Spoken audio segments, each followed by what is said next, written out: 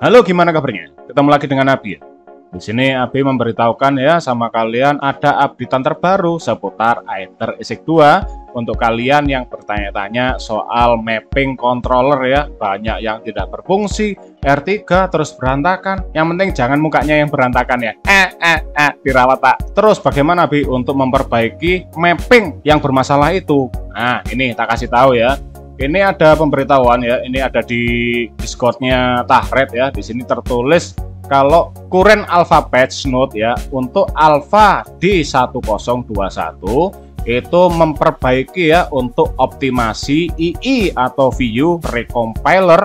Ini sekarang di sini ya di versi 1021 itu menambah performanya 2 sampai 5 eh 3 sampai 5 persen ya di cut over 2 jadi makin maklum ya. Eh eh eh. Yang kedua adalah improve tekstur preload performance ya. Jadi tambah performanya di tekstur preloadnya. Selanjutnya improve internal frame rate detection. Diimprove lagi ya untuk internal frame rate detectionnya. Selanjutnya, fix map mapping in some games, contohnya di game Jack 2. Ini mungkin ya, ini loh ya, ini mungkin memfixkan ya untuk mapping kalian yang lagi bermasalah ya untuk kontrolernya, entah itu di X3 atau di mana ya.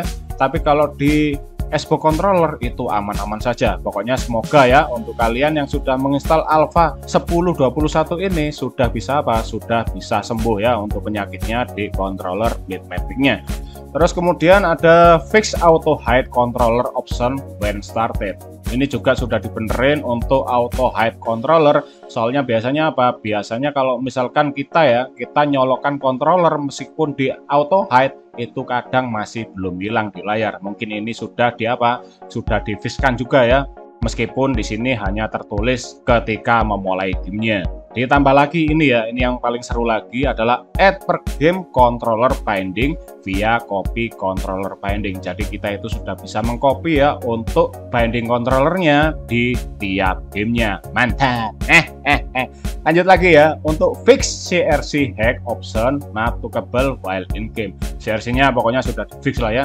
Ini tak kasih tahu lagi ya untuk kalian yang masih belum apa, yang masih belum mengupdate-nya itu kalian harus update ya. Sekarang juga yang lagi bermasalah itu di Alpha 1021 ini ya. Semoga setelah kalian update ke 1021 ini sudah bisa apa? Sudah bisa sembuh untuk penyakit map mapping ya. Ditambah lagi untuk performanya makin nambah di beberapa game lah ya, terutama di mana di God of War 2. Semoga penyakit God of War yang lain itu juga sudah diviskan di sini ya. Semoga saja lo ya. Ya sudah, seperti ini aja ya informasi dari AB tentang i3 2 yang bermasalah tentang controller ya untuk map mappingnya dan juga untuk improve di God of War 2 ya. Ya sudah, seperti aja ya. Jangan lupa di like dan di subscribe untuk teman-teman yang baru di sini karena banyak sekali informasi-informasi seperti ini, informasi tutorial, informasi game terbaru dan juga informasi-informasi lain yang mungkin saja bermanfaat untuk kalian semua. Sampai ketemu di video selanjutnya. Yeah.